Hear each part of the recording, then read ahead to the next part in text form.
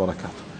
الحمد لله رب العالمين والصلاة والسلام على نبينا محمد وعلى آله وأصحابه أشهد أن لا إله إلا الله وحده لا شريك له وأشهد أن محمدا عبده ورسوله. ما بعد فإن أصدق الحديث كتاب الله خير الهدي هدي نبينا محمد صلى الله عليه وسلم شر الأمور محدثاتها كل محدثة بدعة كل بدعة ضلالة وكل ضلالة في النار.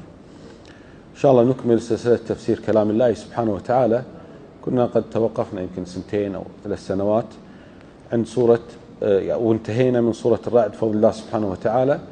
الآن إن شاء الله نكمل سورة إبراهيم. سورة إبراهيم هذا الاسم على نبي الله إبراهيم أبو الأنبياء. إبراهيم عليه الصلاة والسلام أول من يكسى لأن الناس يحشرون حفاة عراة غرلا يعني غير مختونين. بهمة ليس معهم شيء. في الدنيا عندك الأموال والزوجة والأولاد والقبيلة لكن يوم القيامة الكل يأتي فردا حتى ما في ملابس. فأول من يكسى إبراهيم عليه الصلاة والسلام. إبراهيم عليه الصلاة والسلام لما سئل الرسول عليه الصلاة والسلام من خير من خير البرية؟ قال ذاك إبراهيم. مباشرة. من خير البرية؟ قال ذاك إبراهيم. أو واحد يعني قال للنبي عليه الصلاة والسلام يا خير البرية. يعني يا أفضل الخلق وليس فقط البشر. فقال ذاك إبراهيم. إبراهيم عليه الصلاة والسلام هو خليل الرحمن. وكذلك نبينا محمد صلى الله عليه وسلم هو كذلك خليل الرحمن. نبينا محمد عليه الصلاة والسلام. إبراهيم الخليل رآه الرسول صلى الله عليه وسلم في ليلة الإسراء والمعراج في السماء السابعة مسندا ظهره إلى البيت المعمور عليه الصلاة والسلام. إبراهيم هو أبو الأنبياء يعني كل الأنبياء الذين جاءوا بعده منه عليه الصلاة والسلام. فهو أب لإسحاق وإسماعيل وإسحاق أب ليعقوب ويعقوب هو إسرائيل. فأنبياء بني إسرائيل من يعقوب فالمهم يصلون إلى إبراهيم. فكل الأنبياء جاءوا من إبراهيم الذين هم بعده. لذلك يسمى أبو الأنبياء. إبراهيم عليه الصلاة والسلام. إبراهيم هذا أفضل الناس بعد النبي محمد عليه الصلاة والسلام إبراهيم عليه الصلاة والسلام الذي أمرنا باتباع ملته وهديه وطريقته. قد كان لكم أسوة في إبراهيم والذين معه. طيب فنحن مأمورون بالاقتداء بإبراهيم. طبعا إلا بشيء واحد. يستثنى شيء واحد فقط وهو استغفار إبراهيم لأبيه. هذا الذي لا نتبع فيه إبراهيم عليه الصلاة والسلام. أنه أن الإنسان يستغفر لمشرك لأن أباه كان مشركا ومات مشركا كافرا. فيأتي يوم القيامة كما جاء الحديث البخاري. طيب فيا رب هذا يعني هذا أنت وعدتني أن ما تخزيني. وأي خزي من أبي الأبعد؟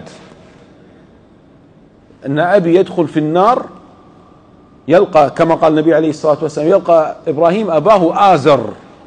فآزر هو أب إبراهيم. أبوه أبوه مو عمه. بعضهم يقول عمه هذا خطأ. آزر أب إبراهيم.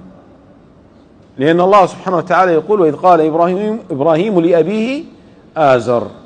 فيلقى إبراهيم أباه آزر يوم القيامة. فيقول يا رب أي يعني أي خزي مثل أبي الأبعد. يبعد هذا عن الجنة ويدخل في النار. طيب فالمهم يقال له انظر إليه فإذا هو بذيخ ملتطخ أو متلطخ. يعني رب العالمين حوله إلى حيوان. طيب شو اسمه الذيخ اللي هو اللي يأكل الحيوانات وهي حية. الضبع. اي ضبع أنا ببالي الإنجليزي وناس العربي. الديخ هو الضبع المتلطخ. يعني عليه تكرمون الوسخ والقذارة والنجاسة. ثم يلقى في النار. اللي هو أبي إبراهيم. إبراهيم عليه الصلاة والسلام. فإذا هذه الصورة تسمى صورة إبراهيم. ذكر فيها إبراهيم. هذه الصورة مكية. هذه الصورة مكية. يعني نزلت قبل الهجرة وابتدأت بالأحرف المقطعة ألف لام راء. وهذه الأحرف جاءت في سورة ألف لام راء يونس والتي بعدها ألف لام راء هود والتي بعدها ألف لام راء يوسف والتي بعدها لا اللي بعدها الرعد ألف لام ميم راء. طيب واللي بعدها بعد الرعد إبراهيم وبعدها الحجر. فجاءت في خمس صور. جاءت في خمس صور ألف لام راء. طيب وهذه ذكرناها في سورة البقرة وسورة آل عمران أن في خلاف عند العلماء. شنو المقصود بألف لام راء؟ ألف لام ميم قاف نون طه شو المقصود بهذه الأحرف؟ في كلام العلماء. طيب اللي رجح الشيخ بن عثيمين رحمه الله تعالى أن هذه الأحرف ليس لها معنى ولكن لها مغزى. شنو معنات ليس لها معنى؟ يعني بذاتها ما لها معنى. ألف شنو معنات ألف؟ ما لها معنى. لام راء قاف ما لها معنى. لكن لها مغزى. شنو يقصد لها مغزى رحمه الله؟ يعني المقصود من ابتداء هذه الصور بهذه الأحرف المقطعة تحدي العرب بل غير العرب تحدي الإنس بل تحدي الإنس والجن. أن هذا القرآن المنزل على محمد صلى الله عليه وسلم من نفس الأحرف التي تتكلمون بها. في اللغة العربية كم حرف عندنا؟ 28 حرف. طيب فهذول 28 حرف هذه هي أحرف اللغة العربية وهذه الأحرف التي تتكون من القرآن. كلام الله سبحانه وتعالى. يعني الله ما أنزل القرآن بأحرف غير 28 حرف لا نفسه. فرب العالمين يتحدى الناس يتحدى العرب وغير العرب. هم اتهموا قالوا إن هذا القرآن سحر كهانة شعر. محمد هذا مجنون. اتهموا باتهامات باطلة ما عندهم عليه دليل. لكن, لكن هذا شنو؟ هذا ديدن العاجز. الإنسان ما عنده حجة ما عنده بيان شو يسوي؟ يتهمك. أنت كذاب أنت مرتشي أنت آه، مزور أنت ما أدري كذا. ويتهمك. أسهل له ما يقدر يواجه الحجة بالحجة ما عنده حجة. طيب فقال هذه الأحرف لها ليس لها معنى ولكن لها مغزى. فالمقصود منها تحدي العرب. ترى أنا جبت لكم قرآن بنفس الأحرف اللي أنتم تستخدمونها. اذا من قال إن ألف لام راء إن الله الله العظيم يرى أو الله كذا يرى. ألف لام ميم الله يعلم. زين هذا ما عليه دليل. ما عليه دليل. يعني ألفون. ألف لام ميم الله يعلم. ألف لام راء الله يرى. ألف لام كذا ويألفون هذا ما عليه دليل. ما يجوز إن الواحد يعني يدعي بهذه الكلمات بغير دليل وغير مستند. طيب فإذا كان في دليل نعم علينا بالدليل لكن ما كان في دليل بس توقف. ما ما ما تخوض في كلام الله سبحانه وتعالى. وهذه الأحرف إذا جمعتها كم عددها؟ الأحرف المقطعة في بداية الصور. نصف عدد الأحرف العربية. العدد الأحرف العربية كم؟ 28 فهذول 14 نص حكيم قاطع له سر. إذا تبي تحفظهم. طيب نص حكيم قاطع له سر. هذه يعني حفظت الجملة هذه هذه تجمع لك كل الأحرف المقطعة اللي في بدايات بعض الصور. ومما يعني استدل به العلماء الذين قالوا إن هذه الأحرف مقصود بها الإعجاز أو التحدي أن عادة الأحرف المقطعة إذا جاءت في بداية الصور مباشرة يأتي بعدها ذكر للقرآن. ألف لام ميم ذلك الكتاب لا ريب فيه. ألف لام ميم الله لا إله إلا هو الحي القيوم نزل عليك الكتاب بالحق الآية. ألف لام راء تلك آيات الكتاب المبين. فلما تشوف الأحرف المقطعة بعدها يأتي ذكر للقرآن. فهذا يقوي القول بأن هذه الأحرف لتحدي العرب. إذا في سورة إبراهيم جاءت هذه الثلاث الأحرف مقطعة. ألف لام راء وكما قال النبي عليه الصلاة والسلام لا أقول ألف لام ميم حرف ولكن ألف حرف ولام حرف وميم حرف. مثلا لما تقرأ هذه الأحرف بكل حرف حسنة والحسنة تضاعف إلى عشر حسنات. تقرأ ألف لام ميم أو ألف لام راء هاي 30 حسنة. تبعدك ما كملت السطر؟ 30 حسنة. نجمع الحسنات. في تلاوة كلام الله سبحانه وتعالى. يقول الله سبحانه وتعالى ألف لام راء كتاب أنزلناه إليك لتخرج الناس من الظلمات إلى النور بإذن ربهم إلى صراط العزيز الحميد. بداية قوية كلام الله سبحانه وتعالى. جد ليس بالهزل. ألف لام راء كتاب القرآن العظيم أنزلناه. وهذا يدل على علو الله. يدل على علو الله وأن الله سبحانه وتعالى فوق مخلوقاته على العرش استوى. ولا شيء فوق الله سبحانه وتعالى هو العلي الأعلى المتعال سبحانه وتعالى. فالله سبحانه وتعالى متصف بعلو القهر وعلو القدر وعلو الذات. سبحانه وتعالى. كتاب أنزلناه إليك. ليش؟ لتخرج الناس. من الظلمات إلى النور. اذا أنزل الله سبحانه وتعالى هذا القرآن هذا الكتاب أنزله في ليلة القدر. إنا أنزلناه في ليلة القدر. من العلماء من قال أن المقصود أن الله سبحانه وتعالى أنزل القرآن كاملا إلى السماء الدنيا في ليلة القدر في ليلة مباركة.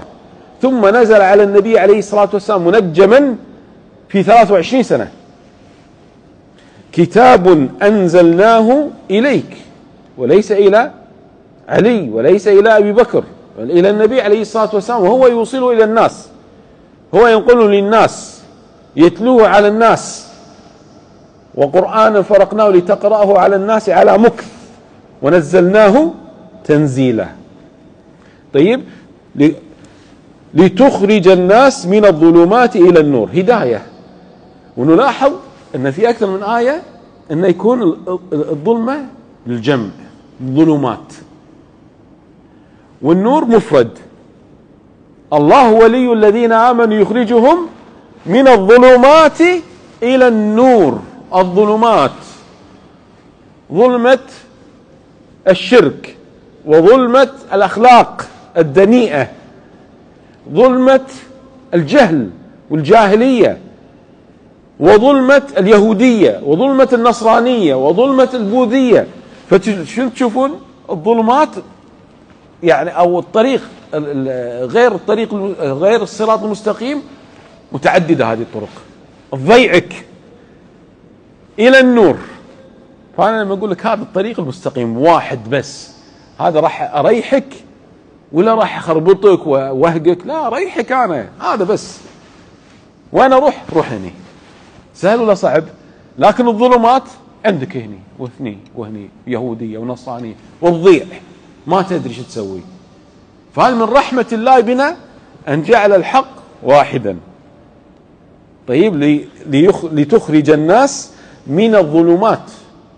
فبعث الله سبحانه وتعالى محمدا وأخرج الله به الناس من الظلمات. كان الواحد تأتيه البنت نعمة من الله فيأد ابنته. يقتلها وهي حية يدفنها وهي حية. ليش؟ ما سوت شيء. وإذا الموءودة سئلت بأي ذنب قتلت. يموت الرجل فتورث زوجته. زوج زوجته تصير ملك لأهل الزوج. شلون؟ لا أنت مالك شيء. كيفنا؟ أخوه يمكن تزوجها عمه إحنا نتحكم فيك. جاهلية. فجاء الإسلام لا. إذا مات الزوج هذه المرأة عليها الإحداد عدة الوفاة أربعة أشهر وعشرة وترث إما الربع وإما أو الثمن. طيب؟ ويعني تكون معززة ومكرمة في الإسلام. فأخرجهم الله من الظلمات إلى النور. لتخرج الناس من الظلمات إلى النور. شلون؟ بإذن ربهم إلى صراط العزيز الحميد. يعني هذا الأمر يكون بإذن الله. هذا ليش ما صار مسلم؟ صار لي 25 سنة أعطي كتيبات وناقشة ما صار مسلم. ليش؟ هداية بيد الله. إنك لا تهدي من أحببت ولكن الله يهدي من يشاء. شوفوا الرسول عليه الصلاة والسلام أعظم البشر. طيب كم سنة يدعو عمه إلى الإسلام؟ وما أسلم مات على الشرك وعلى الكفر. سبحان الله. مع أن هذا رسول الله. ليش؟ لأن الله سبحانه وتعالى يقول بإذن ربهم. مو بكيفي ولا بكيفك. بعض المرات واحد يقول لك شلون هذا؟ أبوه إمام مسجد وأمه داعية. وهذا ما ولا مرة شفناه بالمسجد ولدهم وبنتهم تشوفه متبرجة ولا بنتهم ما تصلي. ما ما يشترط أن الواحد لما يكون آه، متدين وملتزم بدين الله سبحانه وتعالى أن عياله كلهم يكونوا على الصراط مستقيم نوح عليه الصلاة والسلام ولده أو أحد ابنائه مات كافرا. أغرقه الله مع الكافرين. إبراهيم ابوه كافر. طيب. لوط زوجته كافرة. فرع آسيا زوجها كافر. فرعون. رأس الطغاة. فما يشترط. ليش؟ لأن الهداية بيد الله وحده. لما هزم المسلمون في غزوة أحد شو اللي صار؟ الرسول عليه الصلاة والسلام صار يمسح الدم عن وجهه. كاد أن يقتل. كادوا كاد أن يقتل ضربوه الكفار. طيب؟ فصار يمسح الدم عن وجهه. وقال كيف يفلح قوم شجوا نبيهم وهو يدعوهم إلى الله. صار يدعو في الصلاة. يرفع ايده في الصلاة قنوت النوازل يسمونه. اللهم العن فلانا اللهم العن فلانا اللهم العن فلانا. فأنزل الله سبحانه وتعالى ليس لك من الأمر شيء. يا محمد ليس إليك. إنهم يسلمون ما يسلمون. أو يتوب عليهم وتاب الله عليهم وأسلموا. الذين لعنهم النبي عليه الصلاة والسلام أسلموا. لتخرج الناس من الظلمات إلى النور بإذن ربهم إلى صراط العزيز الحميد. إلى صراط الله سبحانه وتعالى اللي هو العزيز صاحب العزة. العزيز الذي لا يغلب لا غالب له. ما حد يغلب الله سبحانه وتعالى. أمريكا ممكن أحد يغلبها اي روسيا اي درع الجزيرة اي الروم فارس الكل من البشر ممكن يغلب يهزم يفنى. عاد. ألم ترى كيف فعل ربك بعاد؟ إرم ذات العماد التي لم يخلق مثلها في البلاد. طوال وين؟ للسماء طولهم. يعني قصدي طوال وايد. زين؟ دمرهم الله سبحانه وتعالى. هذه الأمم وين راحت؟ هل ترى لهم باقية؟ ما ما ترى ما, ما في تاريخ صاروا. طيب أما الله فهو العزيز لا غالب له والحميد الذي يحمد سبحانه وتعالى. الحميد صاحب صاحب المحامد يحمد ويحب الحمد وهو أحق بالحمد سبحانه وتعالى.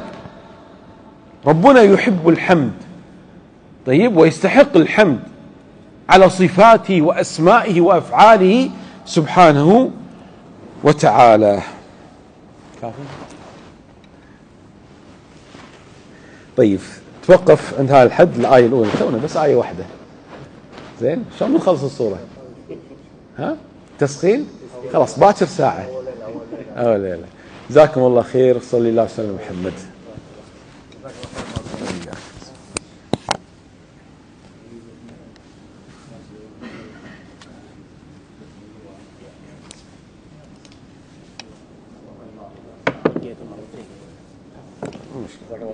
حياك الله الله يسلمك